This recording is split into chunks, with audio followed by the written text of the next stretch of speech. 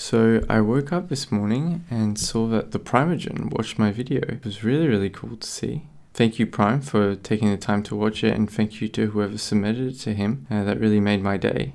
And thanks to everyone who came in yesterday and showed comments and support and everything like that. Seeing someone watch the video made me realize a lot of things that I glossed over. Mostly made me realize that a lot of people are sleeping on Kotlin. And Kotlin's really awesome. So I just wanted to take a bit of time to go through some Kotlin features just to show what it can do. None of these features are particularly unique to Kotlin, but to have them all in one language is quite rare. I've only found a couple examples of languages that can do all these and they have some other flaws like being dynamically typed. So the first feature is named and default arguments. For example, this function called save user details takes a first name, middle name, last name, date of birth, and last login date. As you can see, the middle name is a nullable field and it defaults to null. And last login date defaults to instant.now. There's two features here. One is that I can call the function and pass the named attributes like this and the second one is that I can choose to leave out the ones that have default values. So I don't even have to provide a middle name or last login date. I can if I want,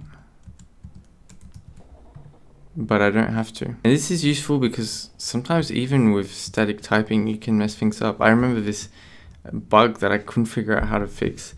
Uh, and it was in Java before we migrated to Kotlin and we had a reader host and a writer host that was being passed to a function and then passed to the next function.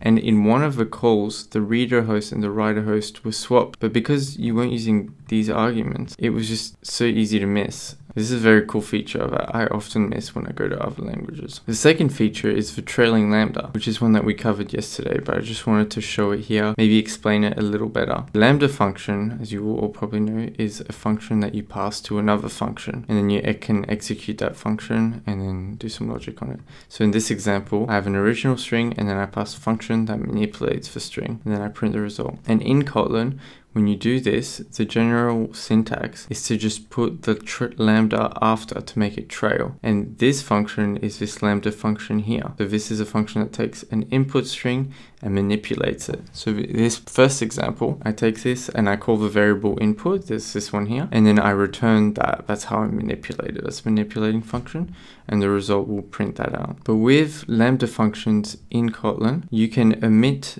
the variable name if it's just one variable and you can just use it. So the shorthand for this, if I want to make new, another function, this one just reverses the string. Takes the original string, the lambda function reverses it by using it and then prints it out. And the default Kotlin library ships with a bunch of cool trailing lambda functions and they're all quite functional which is amazing uh, for example I have this list uh, this is an immutable list and I call this mapping function and then map all these numbers to floats and then here I have a filter so here you can see the it's cut off a little bit. This one's a bit more visible. So I have a list, same six numbers, and then I call a filter function and I filter for a filter. So this thing takes a predicate where the t is whatever's in your list and it returns a boolean. So my boolean is it is smaller than 4. So it returns all the numbers in the list smaller than 4. You can also do some more complicated things. So for example, I do the sum of each number plus 1.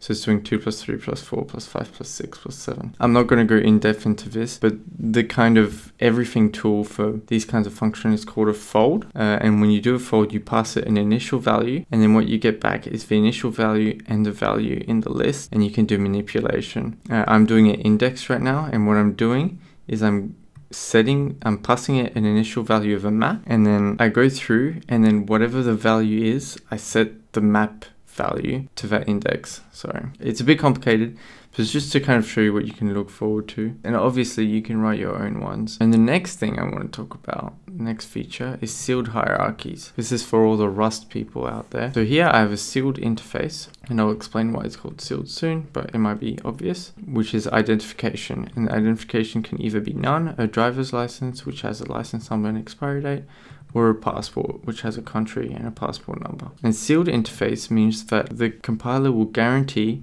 that whatever's defined here are the only instances of this interface in your entire code base. And then what you can do, just like in Rust, is you can have a when statement. When identification is a driver's license, I can access for values from the driver's license. When it's none, then I don't get anything. When it's passport, I get the passport number. And what's nice, if you're not familiar with these, that if I add something new to this identification, I will get a compiler error. So everywhere where I have a when statement, unless I have an else, which you probably shouldn't, whenever you add something here, you'll be forced to handle it in all the cases, which means you're forced to handle all the invalid state. And this does mean that you can also create your own result type in Kotlin, and that's pretty easy to do if you prefer to do that.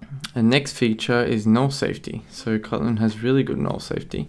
So this is just some helper function for my example, which uh, I'll use in a little bit. So this function, get username, takes an ID and returns a nullable string. So it'll either return the username if ID is valid, or it'll return null if it's not. And in this case, it just always returns null. So I do get username with an ID of one. So this user will either be a string or null. And this is how you do null safety. It's kind of similar to TypeScript, but you get uh, some niceties with it. So with just for value, you can do question mark dot and then a function on it. And then here this is called the Elvis operator. If it is null, it'll do whatever is the other side of the Elvis operator. So you could throw here or you could return to the parenting function. You could return an error. You could throw an exception. You can also add a default value. And this is what I do here. So the Elvis operator is there and then I return a default value of none. You probably shouldn't be doing this. You should be returning errors instead of default values. But if you want to, you can. Let statements, which we have an example here, is another thing that makes nulls very fun to handle in Kotlin, where if I have a null, I can use let and then I can have a lambda function here. So let is just um, a function that has a trailing lambda that will return the non-null value of that. So here it is not nullable anymore. Just to make this clear, user in here is null. And then once I'm in here, the user is no longer null.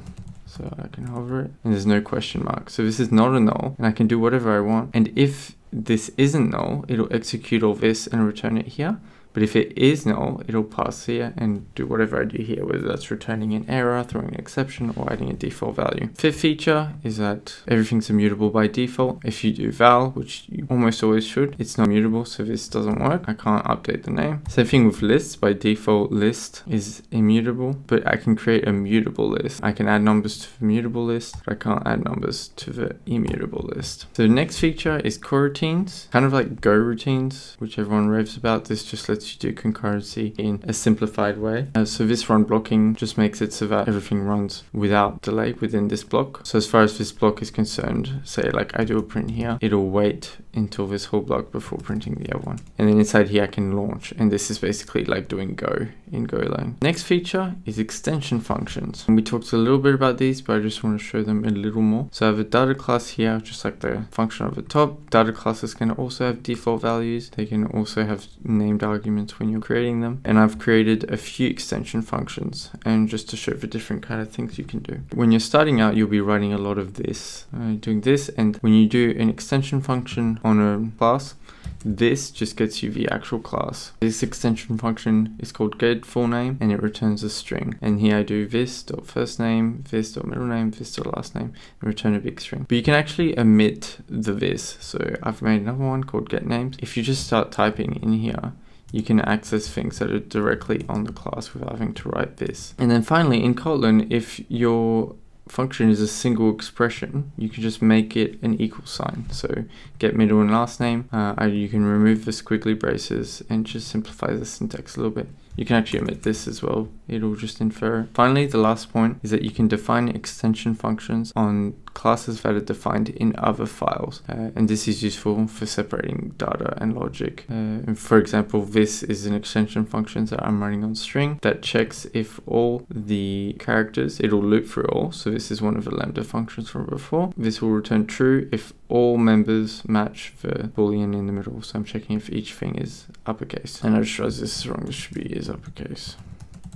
The eighth feature is that you actually still get all the Java ecosystem, for better or worse. You should probably try and minimize it since you lose a lot of the null safety and you might get random exceptions thrown in your face when you use Java. But you get the whole Java ecosystem. If I can use the Discord4J client without needing to do anything weird. But the advantage is that it's not Java. I don't have to write new. I don't have to do all the boilerplate. It's much simpler. Like I just wrote this example since I'm defining a class here and I'm defining an attribute, a public attribute. I don't have to write setters or getters. I don't have to write a constructor. I can just create this data class like this and then I can access this like that. And when you interop with Java, it'll automatically generate all the setters and getters. And same the other way, when you're using Java classes, you won't have to use the setters and getters. You can just access the fields directly. And one more thing I wanted to mention for all the people that have been scared of Kotlin because of Java, that you don't have to use Maven. Um, Gradle is easier. It's not the best build system out there, but it's very extensible and it's much more readable than Maven. Finally, I have a couple extra features. One is that you can write functions with spaces in it. And this kind of seems silly, but it's super useful when you have long function names, especially in unit tests. This is how we write our unit tests. We do given a scenario, when this, then that.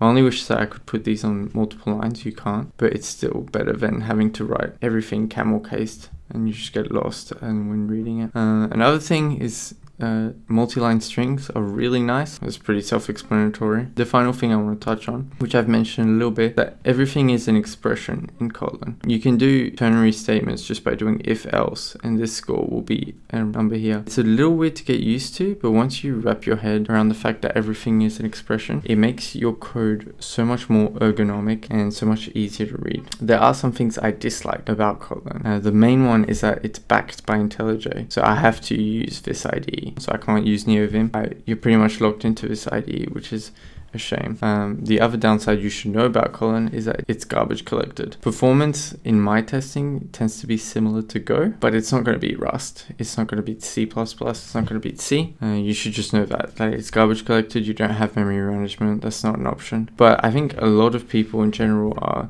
sleeping on Kotlin. It's a super powerful language. As much as I don't like being forced into the IDE, I come back to it because it's so ergonomic. Yeah, I really enjoy it. Thank you.